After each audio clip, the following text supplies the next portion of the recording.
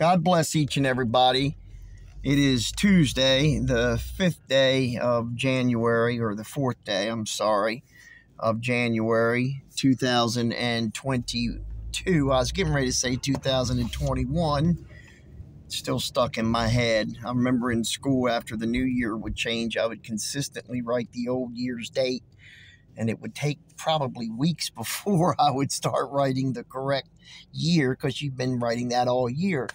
But, anyways, it is what it is. I want to talk about something today that this nation, this world in general, is lacking a whole lot of, and that is L O V E, something Jesus tells us that we need to do as followers, as believers, as Christians, but not only that, as human beings.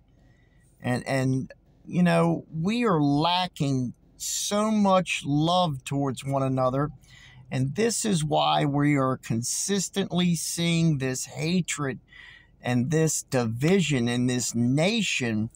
Um, it goes back to the old um, uh, videos I've done in the past about uh, America throwing God out, turning their backs on God, and allowing this wickedness, this perversion, these abominations to come in.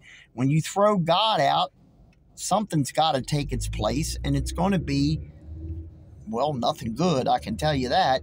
It's going to be something bad.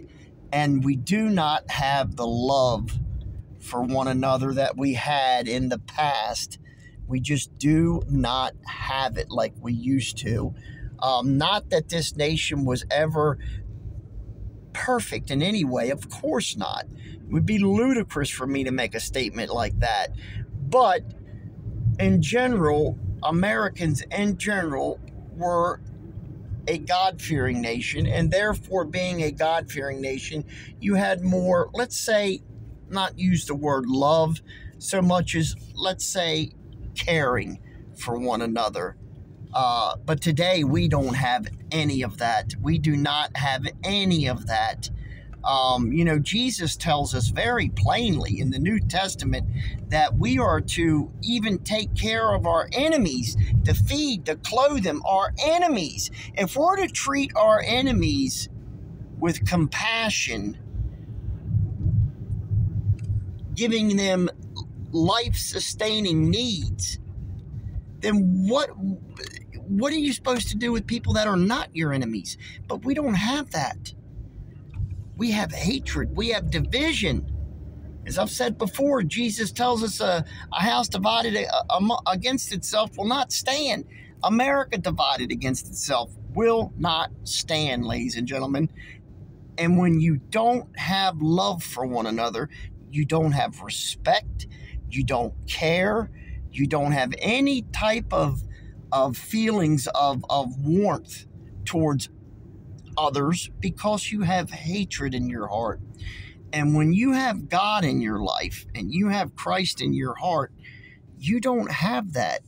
Uh, I'm not trying to make out that every Christian is perfect and nobody gets mad and hates and says, oh, well, I hate this or that. Of course, we're human. Of course. But in general speaking, being a Christian, you know, we are to love one another. You know, we are to be uh, uh, caring of one another, pray for one another. Just imagine if this nation turned back to God. Imagine, just let, let's just say 50%. Let's just say 50% turn back to God. Imagine within a year, just one calendar year what could what could actually happen how much god could actually do in one calendar year. If 50% turn back to god.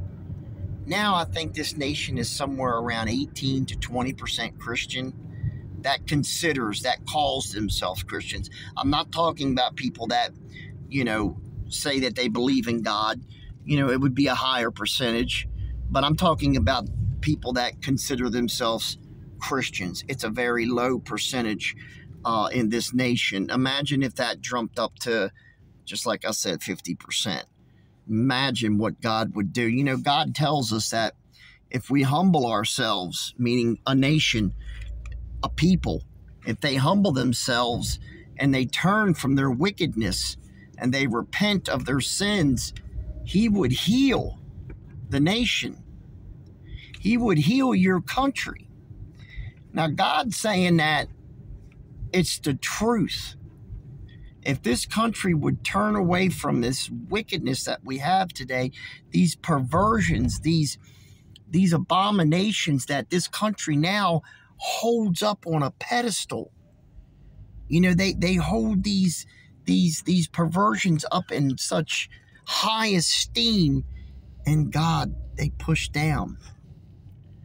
Imagine if it was the other way around and we held God up in high esteem. You know, this nation. Imagine the the the wonders that God could do with America. But ultimately it's up to us, all of us. We need to get back to where we were as a country. Um, because I don't see this continuing on at the rate that it's going. The division is so bad right now. You know, everything is split up into groups. It's either divided among race or religion or political affiliation or or you know something like that it's divided there's everything is groups and if you don't support that group or this group or you don't support the way they think or blah blah blah then of course we know what comes after that you're a racist you're a white supremacist you're a bigot you're this, you're that. When in reality, the ones that usually call people those are the ones themselves that are racist bigots because they hate others that don't think or believe the way they do.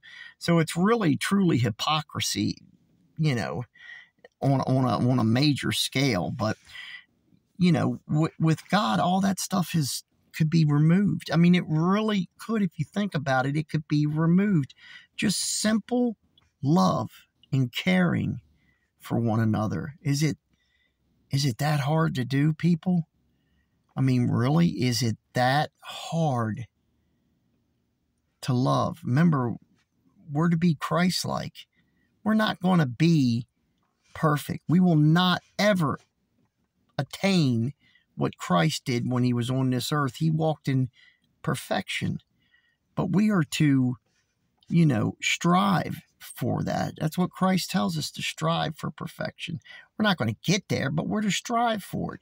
So imagine if we actually took all of this hatred and all of this division and all of this labeling into groups and all of this political correctness and, and, all of that and just turned it over to God and just gave it to God. Imagine what the Lord could do in just one calendar year.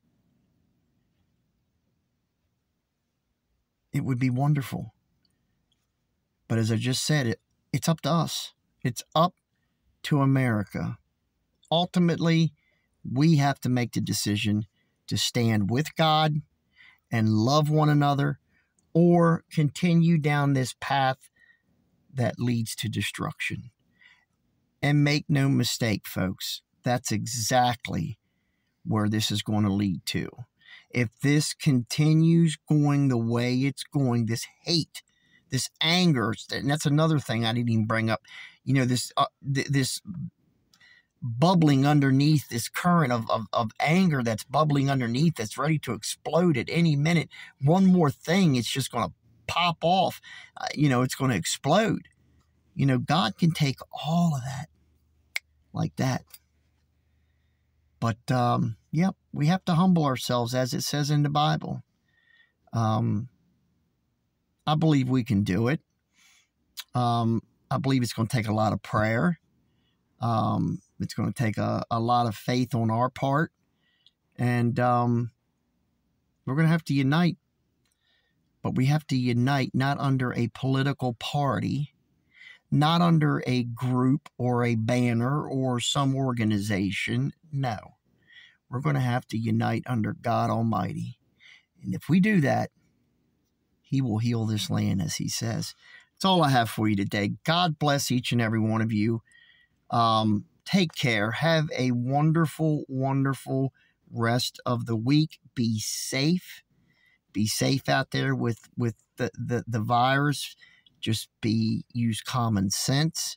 Pray for one another, and um, I will see you uh, later this week. Take care. Bye bye.